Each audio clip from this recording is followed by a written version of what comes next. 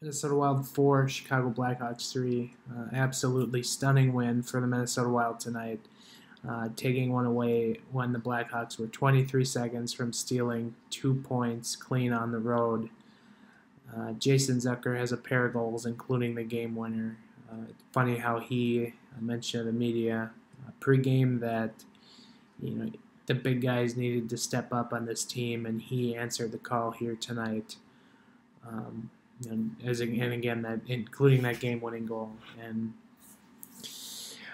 uh, really you don't see him. Uh, we really haven't seen him shine uh, big time in overtime yet. Um, so uh, that was good to see him notch that uh, game-winning goal, his 16th career game-winning goal, uh, 16 for 16, if you will.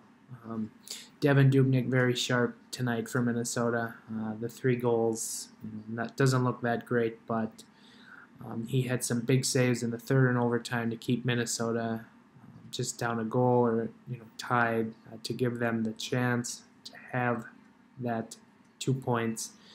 Um, so tip your cap to Devan Dubnyk and tip your cap to Cam Ward on the other side. Uh, very good game from the opposition goaltender very hard to believe that uh, 2006 version of Cam Ward was activated here tonight. Weird how that always happens to the Minnesota Wild, but um, you know, again, tip your cap to him as well. He had 41 or 42 saves uh, for the Blackhawks tonight.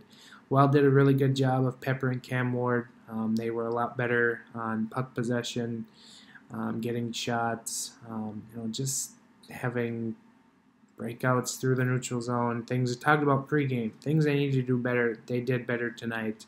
Still a lot of things to work on, but um, you know a much more improved game from the Minnesota Wild.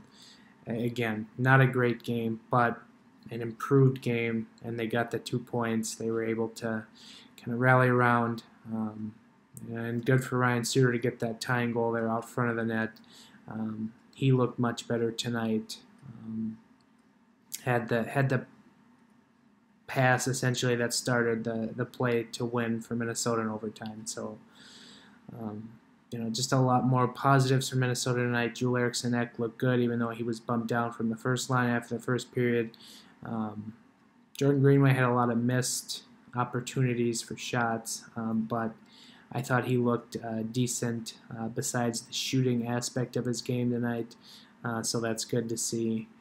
Um, you know, and like I said, just more positives tonight from the Wild. Uh, we'll kind of get more into that um, on Sunday's Giles Goalie podcast. Hopefully, following another positive performance on Saturday against Carolina. But uh, it's you got to feel good about this, and hopefully for Wild fans, this is a win that hopefully turns the tide, gets gets the ball rolling on this team, and hopefully propels them, um, you know, up to do bigger and better things than what we saw out of them from the first two games. So uh, we will chat with you again uh, Saturday pregame uh, and Saturday postgame, and then we will have a new recording of the Giles and Goalie podcast on Sunday.